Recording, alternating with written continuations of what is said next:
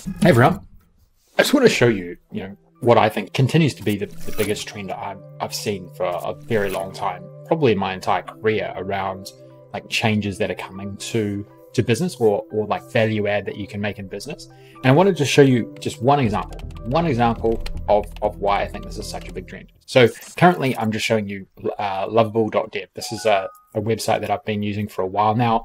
I use it as a way to prototype a lot of my applications. It has been a, an incredible tool for a number of months now. It's, it's pretty new. It's pretty new. And it came out sort of towards the back end of last year. But I had an idea yesterday of an app that I wanted to build, just an idea.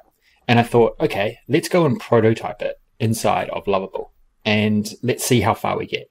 And probably within three to four hours, this is how far I got. Okay.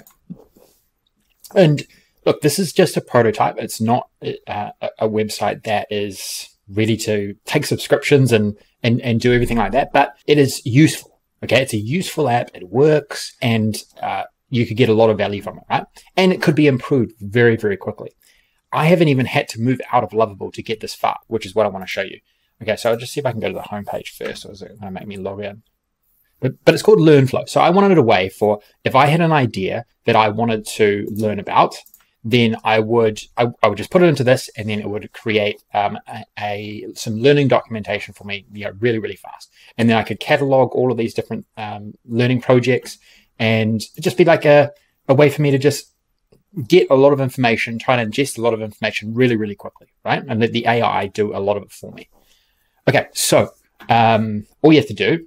So this is our homepage here. I've, I've logged in. Uh, this is just a test account for me. And by the way, this is still in Lovable's uh, own. They they're rendering the site for me, right? I'm I'm not um, hosting this anywhere just yet. I I could I could do that quite quickly. Um, but I can put in any content here. I could say, um, yeah, I want to learn about how to actually let's go web development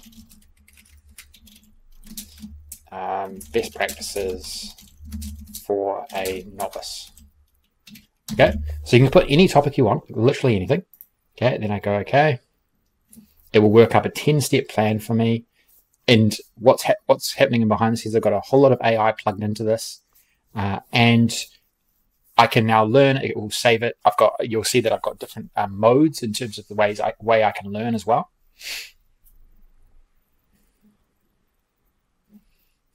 And remember, I didn't use. I didn't write any code to create this.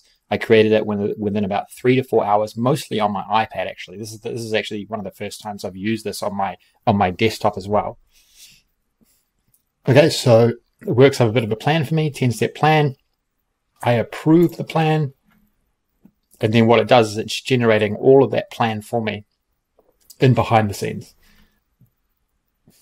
Hopefully it hasn't failed. Okay, yep, mate. So there's a few things around these notifications that I got to clean up. Um, but what happened? What's happened is I've got the O3 Mini, the best model from OpenAI, um, hooked into this, right?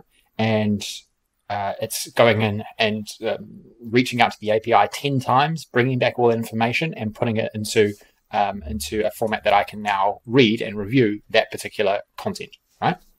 Now, actually, I want you think this is just one example of this incredible wave of new opportunities that are opening up, right? There is so much software to build just by including API calls to AI models. And, and this is just a text model. There's a, there's voice models, audio models, image models, video models are coming soon. There's going to be models on like that that are very specific on science, on data analysis.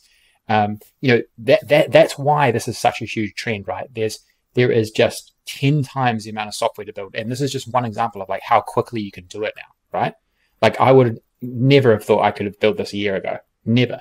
And this is just lovable. Like I, in, in, other in other videos, I can show you you can use um, Windsurf, you can use Cursor. There's all these tools that you can graduate up to, but this is perfect for prototyping. Absolutely perfect for prototyping.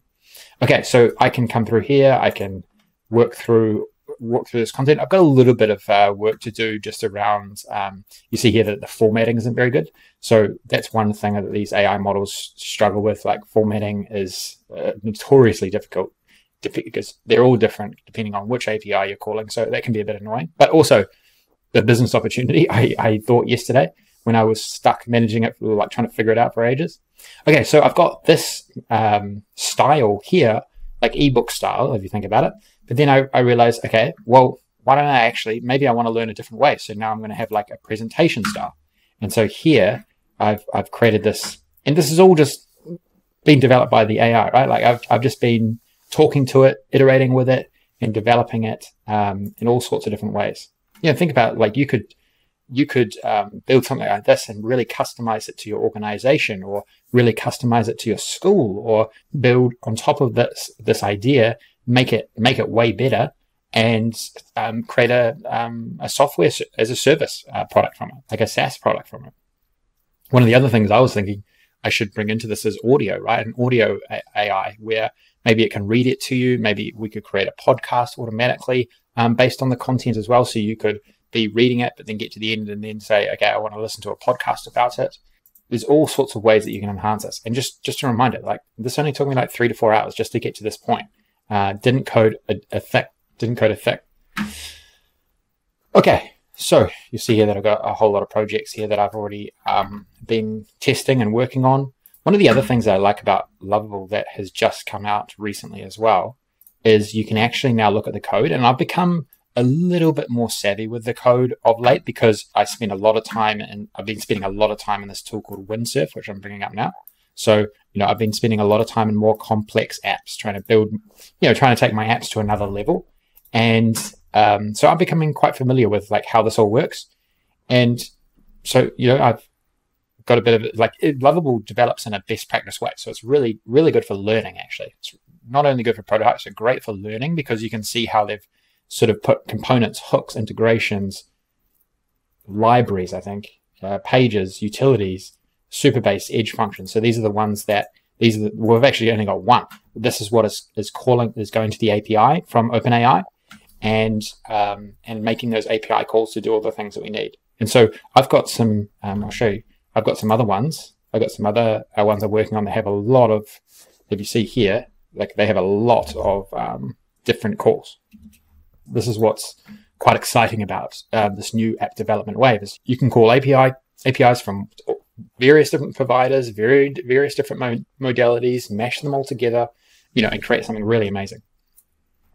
Okay, so look, there's just a bit of an update on like what I've been able to achieve. What you, I've no doubt you could achieve this as well, absolutely no doubt. And yeah, I'll see see where I can um, take this. I'm probably going to um, just launch this for uh, for free on eDNA Labs an Enterprise DNA's platform. That's where we're that's where we're launching a lot of our um, free app apps. And then I'll just see. I'll see. Like that will be our free version, and then we we might um, we might sort of take it to another level as well. We'll see how we go. Okay. Thanks for tuning in. Talk to you soon.